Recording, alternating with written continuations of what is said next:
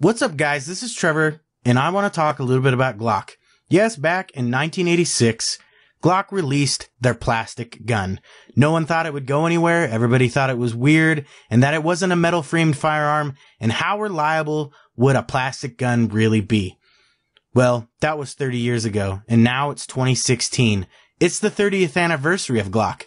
And what's going to happen on High Desert Tactical right this very moment? I'm going to show you the 30th anniversary Glock 17.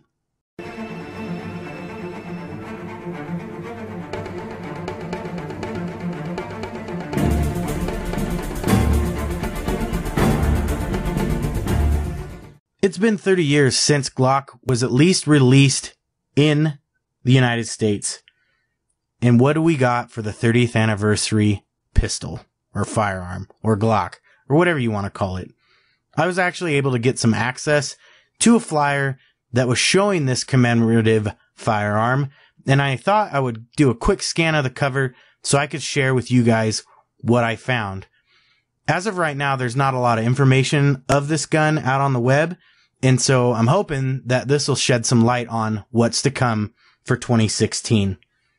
This is the 30th anniversary Glock 17. Just by looking at it, you can tell that it's a Glock 17. It's a generation four, but the slide has some unique characteristics. One of them is being beautifully engraved and it also has a gold or brass accents around the Glock logo towards the muzzle. If you look down at the bottom corner of this page, you can see some information. And it says in 2016, Glock proudly celebrates its 30th year in the United States. Through the careful craftsmanship of five master engravers, 30 pistols have been custom engraved for 30 organizations to commemorate this momentous occasion. To our loyal customers, employees, and fans alike, we thank you in celebrating this crowning achievement in the company's history. At Glock, perfection is our promise. You can see right here, it says learn how you can win an engraved G17 Gen 4 at 30th.glock.com. Well, if you check out their actual webpage here and you go, you enter 30th dot glock dot com. We see if something comes up. It says the web page is not available. I already knew this because i looked it up. I wanted to know more information about this glock.